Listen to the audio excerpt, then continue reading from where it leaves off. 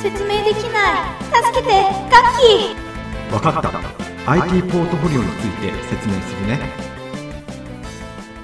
それでは IT ポートフォリオについて説明していきます。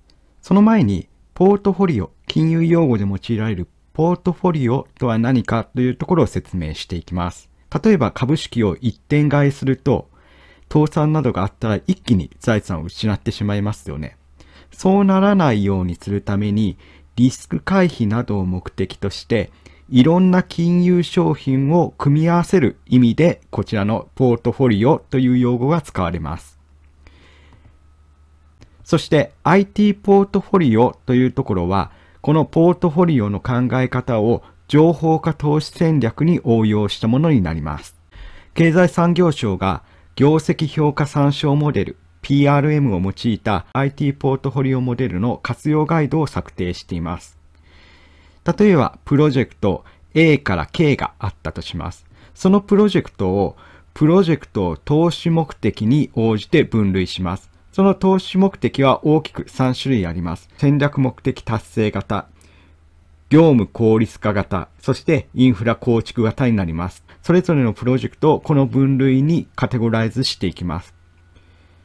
そして、それぞれ投資目的ごとに実現性と戦略適合性というところで可視化していきます。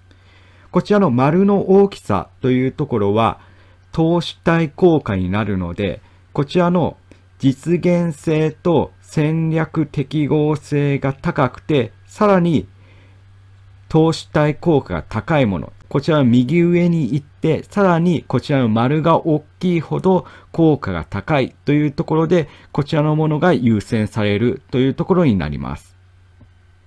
それでは、今話した内容をもとに、基本情報技術者試験、令和元年秋、午前問い61について見ていきましょう。情報化投資において、リスクや投資価値の類似性でカテゴリー分けし、最適な資源配分を行う際に用いる手法はどれかというところで、今説明した IT ポートフォリオになります。今の説明内容で分かってくれたかな？理解できた。ありがとうガッキー。これでもくらえ必殺魔法。オラクル。グハやられた。モンスターをつけて